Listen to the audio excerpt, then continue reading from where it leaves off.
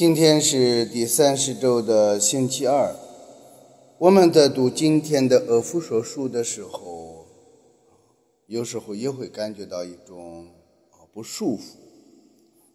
不舒服的原因就是形成了一个家庭之后，为女人的要服从自己的丈夫，如同服从主一样。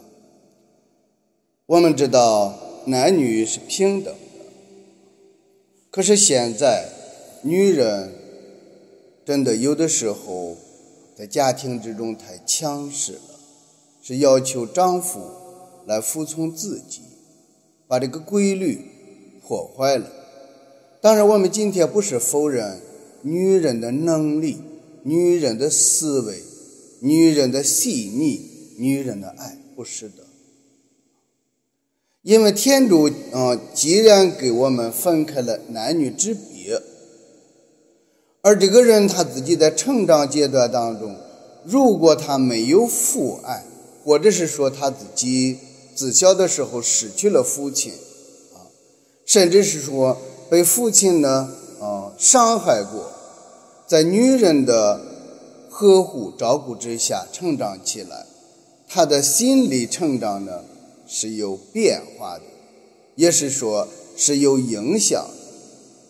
同样的一个女人呢，在一个无助的家庭，在一个受欺负的家庭，她也渴望着自己能够成为一个啊男性，不被欺负。这些都是在不同的环境之下成长起来的每一个个体。首先要认识自己。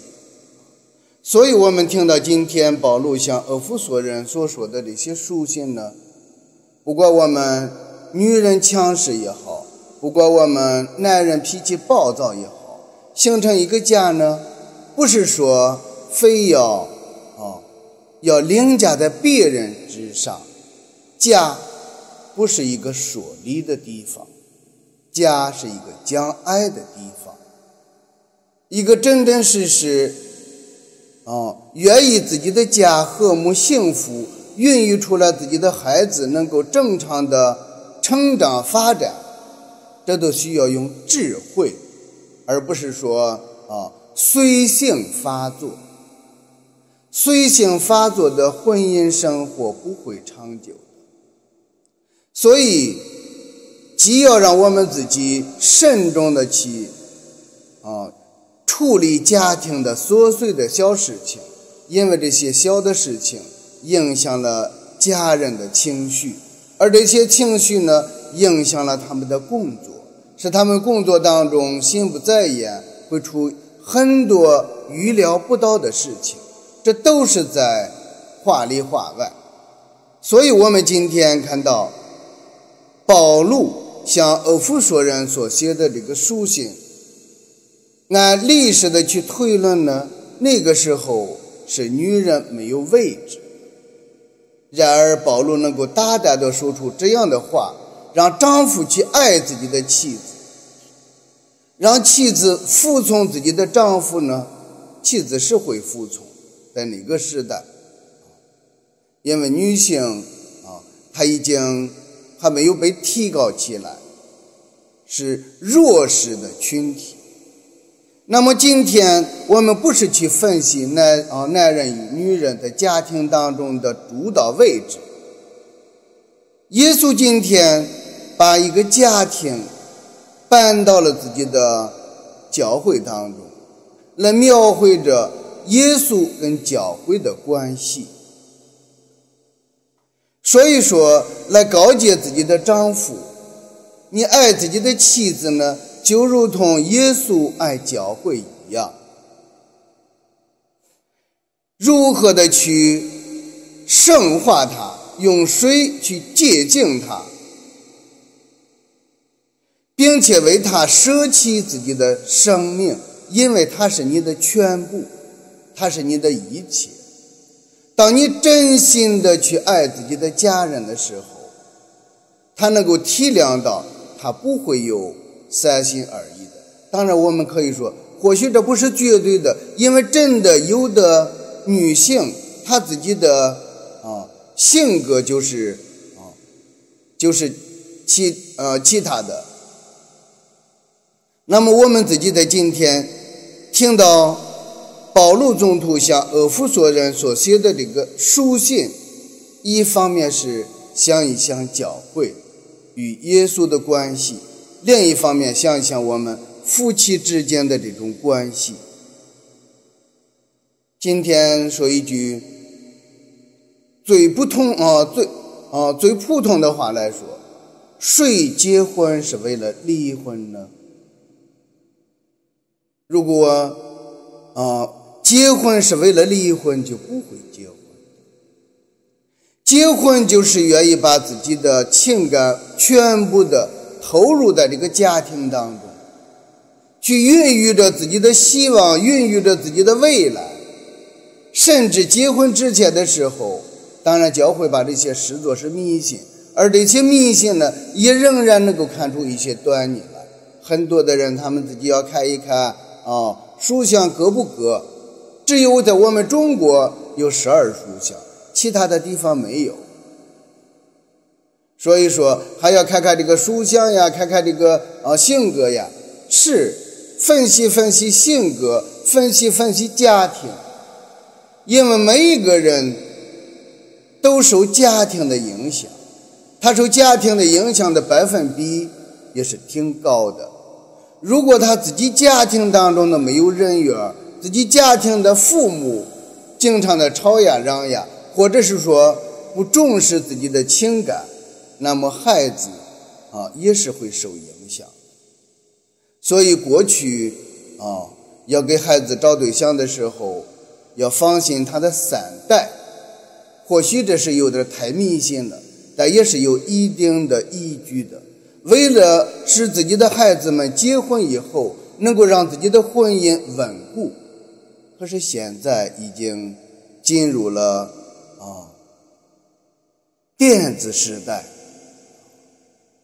真的，即便是说现在信息往来那么痛快，这都是我们离婚的原因吗？不是，是我们自己的心没有定性。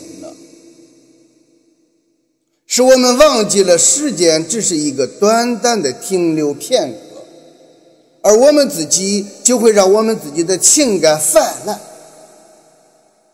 情感泛滥的时候，就会移情别恋，就不会说是真真实实的。是世界上你能够找一个外人吗？就算是说现在啊，皇帝，你羡慕着皇帝，你跟皇帝结婚。皇帝都没有缺陷了，就算是一个富翁，家财万贯的富翁，你自己啊，就在他身上看不到缺点了。前两天刚听说，咱不用说哪里了啊，就昆曲这会儿有一个三十多岁的妇女跳楼了。找了一个挺年轻的，据他们传言来说，啊，或许年轻的因为看到这个女人呢有钱财，但是到时候呢，看到这个女人是实心实意跟他过呢，他看到，哦，掏不出钱财来了，不跟他过了，所以女人想不开跳楼了，生下个孩子，多么可怜呢？所以你自己现在先要想一想。结婚的目的是什么？是为了窃取钱财，所以今天的婚姻已经没有结婚的那个真正的约束了。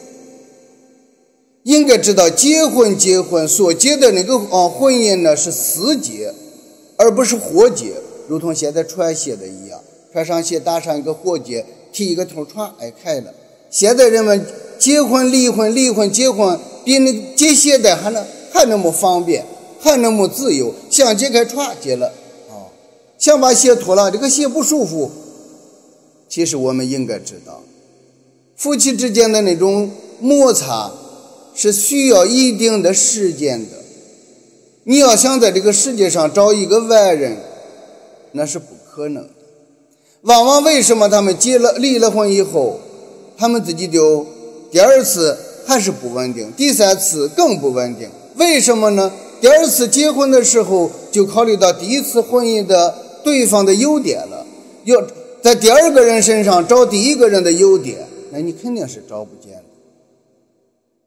你到第三个的时候，你都开始找第一个的优点，第二个的优点。人心就是这样的。其实人没有认识自己，当他认识自己的时候，就会质疑自己的这种情格情感不同的倾向。所以，我们每个基督徒。啊，夫妻二人结为一体，应该离开父母，这是圣经上的话，这是天主说的。这正如同所说的“天作之合”，天主结合的，你违抗了，你为了自己的私意，你不愿意接受了，你要承担起家庭的审判啊！因为什么呢？你要背负起啊，背起情感，背起盟约的。责任，你或许会说，你给他说啊，丈夫是啊什么什么样的，有什么样的缺陷，有什么样的毛病；妻子是什么样的，有这样的毛病，这样的缺陷是。那么审判我们的是耶稣，耶稣召叫我们的时候，是不是嫌弃我们自己满身的罪恶？耶稣召叫入大死的时候，是不是知道他自己将来要出卖自己？所以耶稣。容留了鲁达斯，每次还派遣他出去去采购物品，那都是用爱的态度去引导他。只不过他自己啊一意孤行的去出卖耶稣，是因为他在耶稣身上看不到希望了。就如同为妻子的也好，为丈夫的也好，在对方身上呢看不到希望了，总是失失望。自己所想象的是某个一官半职，自己所想象的是有一个稳定的未来，所以说他也看到耶稣隐没了，抱着侥幸的心理，这些侥幸的心理，这些虚荣的心理，把鲁达斯害了。当真正的出卖了耶稣，后悔了，就如同婚姻一样，不离的时候痛，离的时候更痛。所以你自己现在出卖了婚姻，把耶稣出卖了，难道你自己不应该背负出卖婚姻、背叛婚姻的罪过吗？当你自己离了婚，难道你自己不是置对方于犯罪的境地吗？其实这些都是应该去分析人性的培育。是关键的一环，所以告诉了丈夫，应该如同耶稣一样，舍弃自己的生命来呵护这个家庭，来爱这个家庭。而家庭最主要的成员呢，都是妻子。妻子能够给家庭带来温暖，带来和谐，带来和啊，带来共荣。所以妻子呢，要依附着丈夫。要给丈夫呢成为一个好的贤内助，为什么把妻子当作是肋骨呢？保护着心脏呢，保护着这个家庭主体的心脏。这个家就是拥有统一的心脏，脉搏跳动的时候都是心脏输送这些血血液，使这个家能够正常的、有动力的、有活力的生存下去。所以。任何一个都是不可或缺的。那么提到了这一点，我们再看一看啊，我们如何去面对我们现在的家庭呢？这都需要我们自己去反省，好好的反省一下：我接纳了有缺陷的丈夫吗？我包容了有毛病啊、有点自私、小脾气的妻子吗？所以。我们都要在信仰之内去包容、去接纳、去实行天主所教给我们的啊另一半去培育啊，去分享造化工程。天主让妻夫妻分享他的创造生命的这个大啊大权利，去培育下一代。如果我们想到这么神圣了。谁会践踏自己的婚姻？谁会践踏自己的情感呢？让我们反省一下，努力的。